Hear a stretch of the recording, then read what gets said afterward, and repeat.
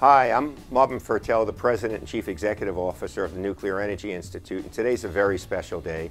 I want to congratulate the Tennessee Valley Authority, Bechtel, and their partners for their very successful completion of the Watts Bar Unit 2 nuclear power plant in Tennessee, and for its receipt of a power operating license from the Nuclear Regulatory Commission.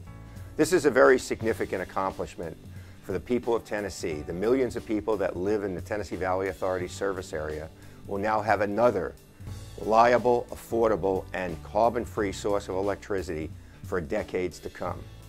And Tennessee, like 29 other states, have a significant advantage in meeting the Clean Power Plan because they have nuclear facilities in their states. And without them, we don't believe it's feasible to meet the goals of the Clean Power Plan and to reduce the carbon emissions in our country to the levels that we all would like. So again, congratulations to TVA for their successful completion of Watts Bar Unit 2.